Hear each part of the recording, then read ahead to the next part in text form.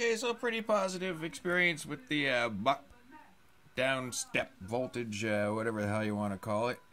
I got a uh, fully charged 16.8 volt battery connected.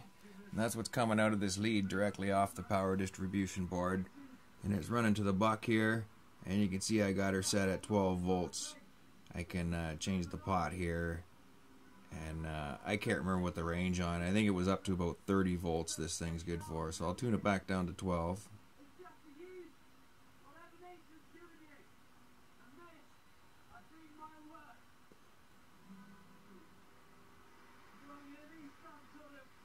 I think that's pretty good for me. But so that was a fully charged battery.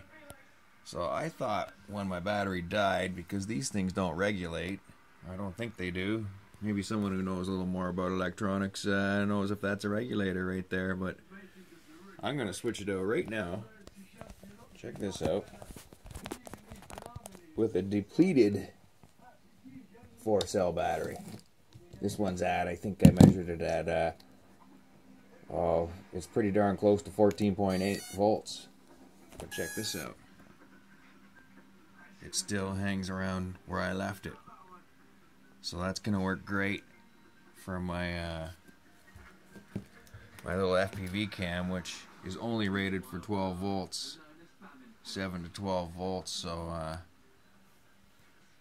and this little puppy, this 330 runs on 4S the, the, transmitter I have will take it, but the, the camera could only take 12. So yeah, this uh, buck step down is going to work just nicely for me.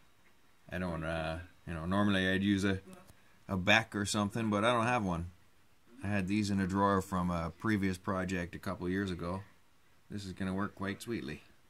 All right.